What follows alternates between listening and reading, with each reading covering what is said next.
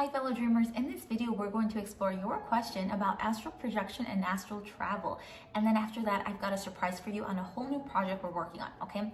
Thanks for joining. My name is Carolina. As you know, I focus on doing children's books like these right here that promote love, unity, and peace. And I also help my followers interpret their dreams. We do this because when we listen to our dreams, we're connecting to our subconscious. And when we share them, we connect with one another on a more profound level.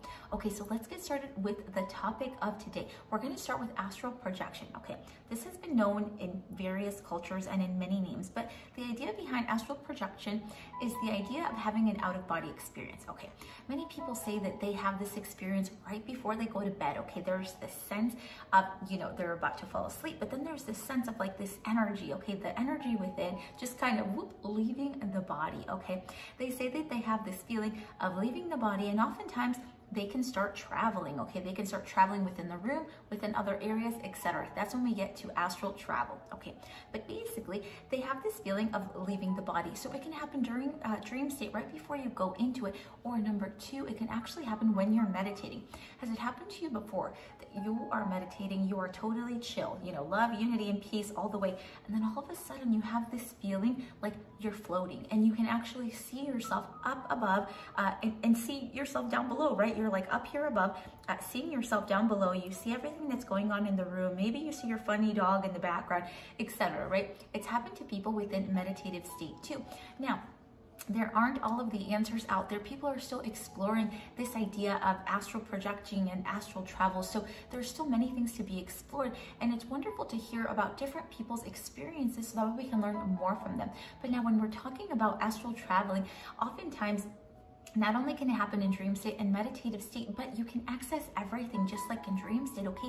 When we think about this, remember in dream state, we access things in the past, okay? We can access things in the present, in the future, and of course, various dimensions above and below.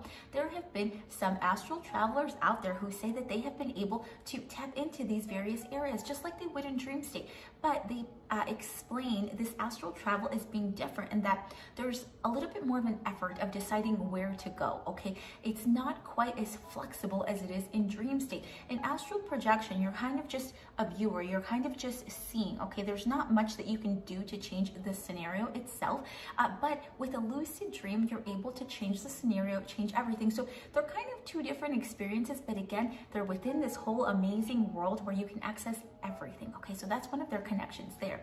But when we're talking about um, astral travel. Remember that this is something that is not dangerous. Sometimes people uh, believe that this is something very fearful. Okay, they get scared to explore it. Uh, and you know what? There is no push to explore it or not to explore it. It's very neutral, right? Let's stay very neutral about it.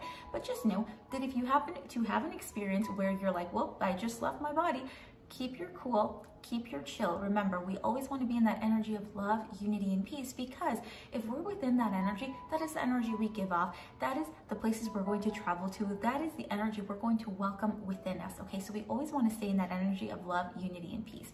So I can give you my very uh, short experience. I had my very first experience with this. Uh, it's been years ago when it happened the first time but I'll explain it to you and you let me know below how your experience was. Okay, so I was taking a nap. Okay, it was during the daytime and I was taking a nap. And as I was taking a nap, I was just feeling so comfortable, so great. I was just, you know, really into that nap. I really needed it. All right. So then during that time, I remember just feeling super light and feeling super floaty. Okay. And I felt my energy just kind of pick itself up. Okay. And it was as if I knew that I had left my body, but I was okay with it at that moment. And then I had two choices in my mind. I had the choice of I'm going to leave the body and explore this room and go downstairs and see what people are up to and I'm gonna be nosy. That was option one. Okay, and then option two was like, or I can turn around and see my face and see how that's like, right? But because it was my first time, I was not ready for any of that. I said, you know what? This is enough for me. Um, I have received the message that leaving the body is a possibility. Okay, I took it as a message, accepted, message accepted. And then I said, right now, I want to go back into the body though. I'm not ready to fully out there explore everything. So I just let myself get back into the body and then I woke up. I woke up and I opened my eyes and I just remember thinking, I'm like, oh my goodness, how did that happen? How did I make that happen? But the thing was, it was um, something that I felt was so natural. I didn't intend to do that uh, at all. I didn't intend to do it. Uh, it just happened naturally. So I just recommend to you that if this happens to you, that you just stay in that energy of love, unity, and peace. So that way you can do whatever it is that you choose, whatever it is that you want and feel comfortable with. Okay. And remember, guys, whenever we're talking about doing anything, whether it be with astral travel, meditation even, or things in dream state, you are always in control of it. Okay, that's why we're always talking about the importance of being in that energy of love. Because if you're in the energy of love, those are the things you're going to attract to you. Okay, oftentimes I hear people say that they're fearful to have a lucid dream, they're fearful to accidentally leave the body, they're fearful of these things. And of course, it's normal to be uh, fearful of the unknown. But remember, if we stay within that energy of love, your experience will be a loving one and you will learn from it. Okay, we want to keep our cool throughout the whole experience. And guys, I want to let you know this is a short video today but um, I've got some news for you, okay? And that is that I am working on book number three. And guess what? This book is an adult book, okay? And this is going to be specifically about the dream world, okay? Everything that we've talked about in the dream world um, and many more things that I continue to learn from my own experience uh, and from my dreamers.